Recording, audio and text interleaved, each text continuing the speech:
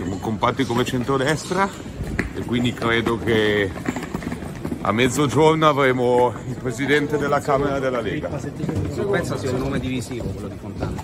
Un nome? Divisivo. E perché divisivo? Per l'opposizione hanno contestato Per l'opposizione divisivo? Beh, penso che era più divisiva la Boldrini di Fontana. Filippo, ma come mai siete passati da, Fontana, ah, da Molinari a Fontana? Cioè, no. piace di più a Fratelli d'Italia eh, il suo collega Fontana? Non chi piace di più, chi piace di meno. Sono le capacità delle persone. Il Molinari ha fatto il capolupo benissimo, deve continuarlo a fare.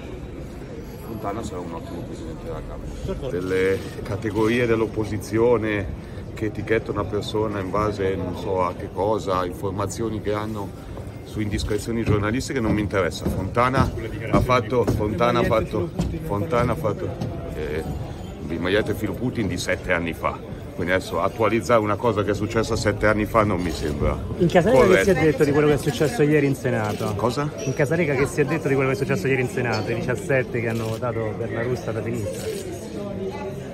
Cosa ti devo dire? Speriamo che Forza Italia si ricompatti, è importante che la coalizione sia unita, i cittadini hanno bisogno di un governo serio, di un governo stabile che risolva la prima cosa da risolvere è il problema dell'energia e il problema delle bollette. Non c'è bisogno di litigi, c'è bisogno di unità, di lavoro, di serietà, di compattezza. E se Ciao. Italia volesse andare da sola alle consultazioni al Quirinale? No, penso che andremo uniti e faremo in modo che andremo tutti insieme. Grazie, ciao!